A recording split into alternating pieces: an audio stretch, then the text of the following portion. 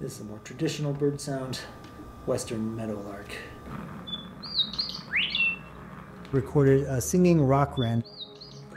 And I was really excited because the bird was just broadcasting right to me, not too far away, great signal.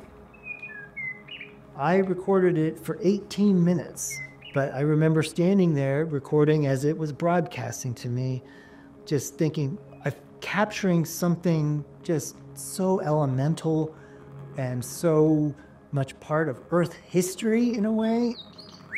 Birds have been on Earth for 100 million years or more, but it's just this moment that I'm the only human who's experiencing it. It felt very sacred in a way. And I feel that way a lot when I capture these sounds. I think it's a good estimate that I probably have samples of at least 4,000 species. But I've got Japan on here, there's it's in New Zealand. We'll do the Rocky Mountains. Right, so if I hit shuffle, Northern pintail.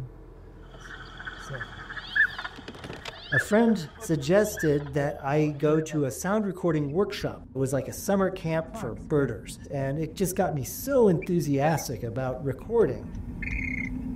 2011, I spent the entire calendar year working and traveling in four different countries Colombia, Ecuador, Peru, and Brazil.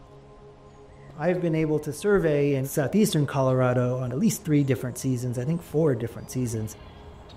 On the eastern plains, especially with climate change, there's been long periods of drought.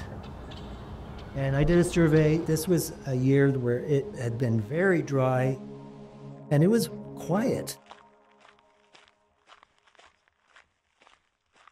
When it's very quiet, you have this, this feeling of a little overwhelm. It definitely affects me in the United States and certainly out in the western US, birds have been in decline. It's hard to see that year over year in a given locality, but when you assess all the data, it does seem to be coming through fairly consistently.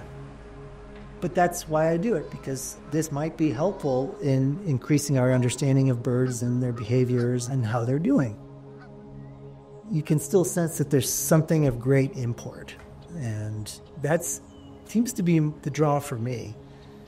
I've been doing this for almost three decades now, and my interest has never flagged. I, I, just keep getting more and more drawn into birds and bird life, and I've had my own doubts about why am I here, what am I doing, all this stuff. But the birds inspire me, and they think, well, gosh, they have a pretty tough life, tougher than mine, and they keep doing what they need to do.